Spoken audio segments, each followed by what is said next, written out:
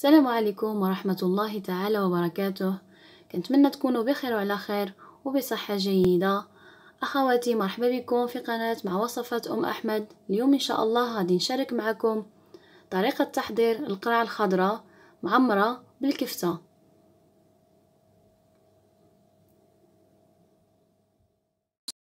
بسم الله على بركة الله. بالنسبة لطريقة التحضير كنحتاجو الكفتة أو اللحم المفروم. الكوسة أو القرع الخضراء. البصل المفروم هذا للصلصة. المعدنوس المفروم أو البقدونس. طماطم مفرومة. البصل المفروم هذا للكفتة. سكنجبير. الكركم. القرفة. فلفل الأسود مصطصة أو الخردل الملح الملون والثوم المفروم أو المحكوكة ونسيت ما حطيت الكمون كذلك حتى هو والزيت النباتية. هنا غنمرو باش نحضرو الكفتة. كما كتشوفوا هنا عندي الكفتة. كنضيف عليها البصل المفروم والكمية كتبقى اختيارية كل واحد كيفاش. هي الكمية اللي كتناسبو. غادي نضيف عليها المعدنوس أو البقدونس. نصف الكمية والنصف الآخر غادي نخليه للصلصة.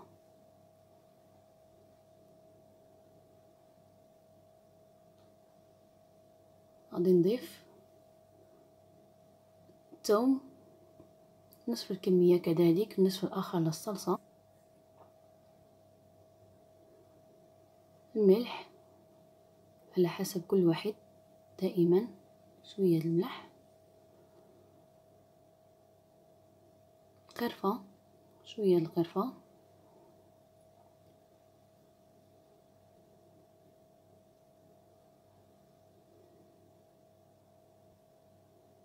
شوية الفلفل الأسود.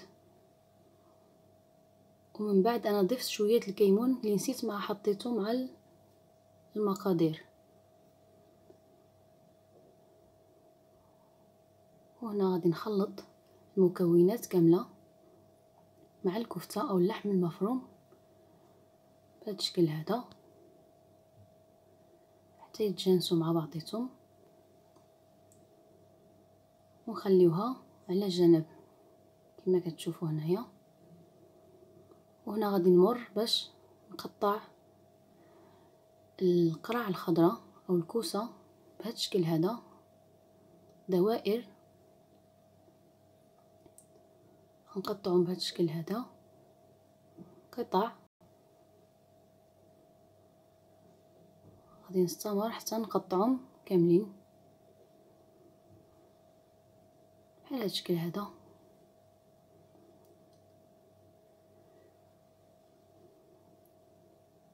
وهنا غادي نمر كما كتشوفوا باش غادي نحفرهم من الداخل ما غنحفرهمش حتى يعني غير شوية غنحفرهم غير شوية على التشكيل هذا كما كتشوفوا. باش حين كنعمرهم بالكفتة ما كتهربش الكفتة من تحت.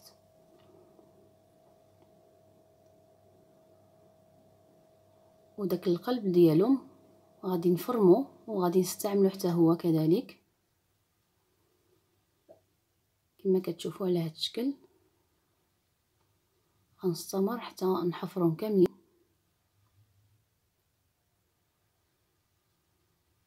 كما كتشوفوا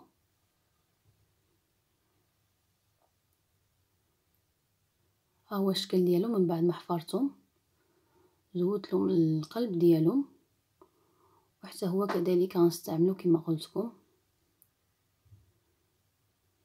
غادي نفرموه. وهنا غادي نمر باش نعمرهم بالكفتة. على هذا الشكل هذا. غادي نعمرهم كاملين. كما كتشوفوا.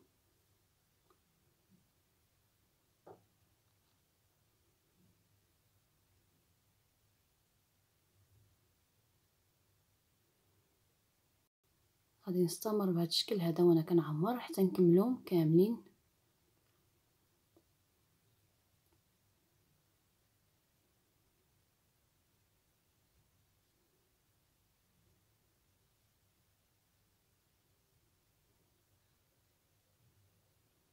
صراحة كتجي لذيذة وكتجي مزونة الوليدات كيبغيوها. وهذا هو الشكل ديالهم من بعد ما عمرتهم كاملين. كما كتشوفوا وهنا في واحد المقلاة على نار متوسطة. كنوضعوا فيها الزيت. وكنضيفوا عليه البصلة المفرومة.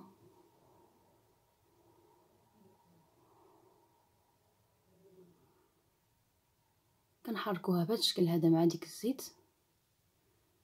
كما كتشوفوا هنا غنضيفوا عليها الكمية اللي خلينا د الثوم والمعدنوس والبقدونس غادي نحركوهم مع بعضيتهم بهذا الشكل هذا. وغادي نخليهم حتى يتغير لون البصل يرجع شوية ذهبي بهذا الشكل هذا كما كتشوفوا. وهنا غادي نضيفو عليهم داك القلب اللي فرمتو ديال القرع باش نستافدو منه في نفس الوقت الوليدات كيتسماو كلاو واحد الحاجة مفيدة. حيت كما كتعرفوا الوليدات ما كيعجبوهمش القرع وهذه المناسبة انهم ياكلوها. غنضيف الملح. السكنجبير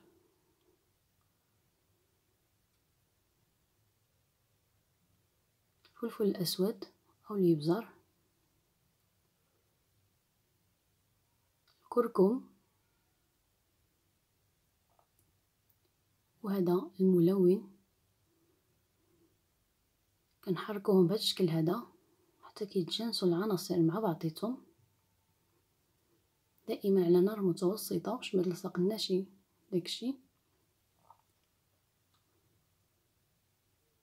كنخليوهم حتى تقلاو بهذا الشكل هذا كما كتشوفوا.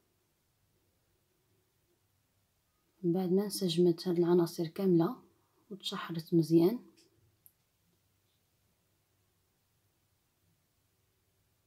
كنضيفوا عليها الطماطم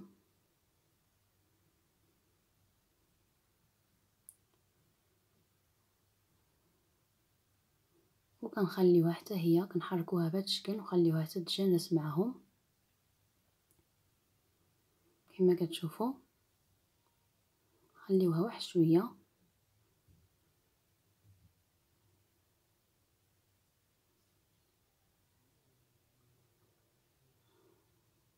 وهنايا من بعد ما نسجموا مع بعضيتهم العناصر كاملة غادي نمروا باش نمرقوهم شوية غير شوية الماء لأن نتوما كما كتعرفوا القراع كتطلق الماء ديالها. اذا غادي نعملو غير شوية الماء. نحركوهم بهذا الشكل هذا ونخليهم حتى يغليو. كما كتشوفوا هنايا من بعد ما غلات. طابت شوية داك البصلة وديك المكونات. كنضيف عليهم واحد المعلقة المستصه أو الخردل كيعطيها واحد الصابر مزيون كيلذذهم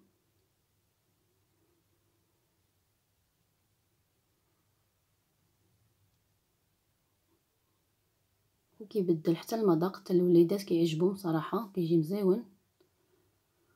وهنا من بعد ما غلاو ديك العناصر يعني طاب ديك الشيء تقريبا. كما كتشوفوها هي ما كاينش الماء بزاف.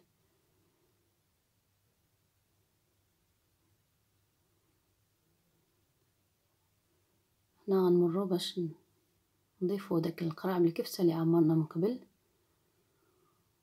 دائما ردوا بالكم معها لأن هي كما كتعرفوا كطيب داغيه والكفتة كذلك حتى هي كطيب داغيه دائما مع التحريك والنار تكون متوسطة باش باش ما تلصقش. غادي نستفهم بهذه الطريقة كاملين على هذا الشكل هذا كما كتشوفوا صراحة كتجي لذيذة وسهلة. أنا كما كتشوفوا استفتهم كاملين هنا غادي نغطيهم نخليهم حتى يطيبوا كل ساعة ساعة كنحركوهم. مرة مرة كنطلع ليها من بعد ما غلات هانتوما كتشوفوا كنحركها غير بهذا الشكل هذا وكنغطيها ونخليها حتى طيب وهنايا حيدت لها الغطا وخليتها تشرب شوية باش تعقد ديك لاصوص كما كتشوفوا. دائما مع التحريك هيدا باش ما كنلصقش النار متوسطه وهذا هو الشكل ديالها من بعد ما طابت وطفيت لها كتجي على هذا الشكل هذا. لاصوص معقودة. يعني الصلصة صراحة كتجي مزيونة ولذيذه وهنا غادي نمر باش نعملها فواحد واحد الطبيصل فواحد الصحن.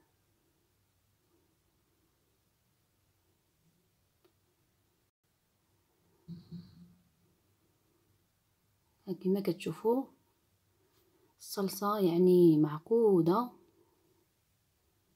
دائما نتوما كتعرفوا يعني القرع ما كتستحملش يطيب بزاف. كطيب دغيا